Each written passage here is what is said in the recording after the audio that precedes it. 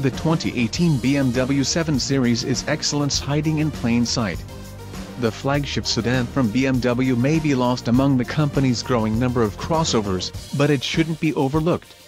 The 7 Series features the automaker's most advanced construction, its most powerful or most efficient engine, and the latest technology. It earns 8.2 out of 10 on our scale, which makes it one of the highest rated cars we've tested. For 2018, the 7 Series largely stands pat. Semi-autonomous driving features are now available on base models and advanced parking features such as a surround view camera system.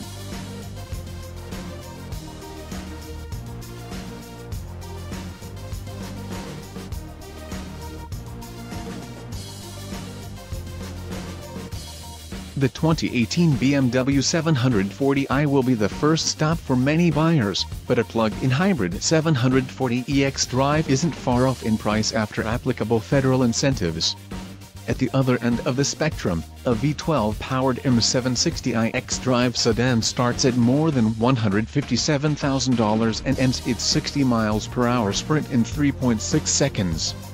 The 7 Series is both efficient and quick thanks to its ultra-lightweight construction that utilizes carbon fiber reinforced plastics, high-strength steel, and aluminum to cut nearly 100 pounds from the body in white alone. With the lighter weight construction comes an ideal weight balance of 50-50.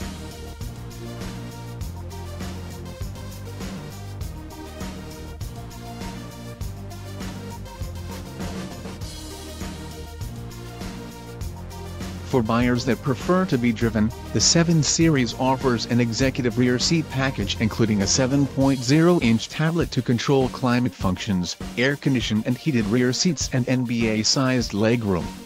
The 2018 BMW 7 Series isn't as daring as some of its contemporaries, but that may be the point.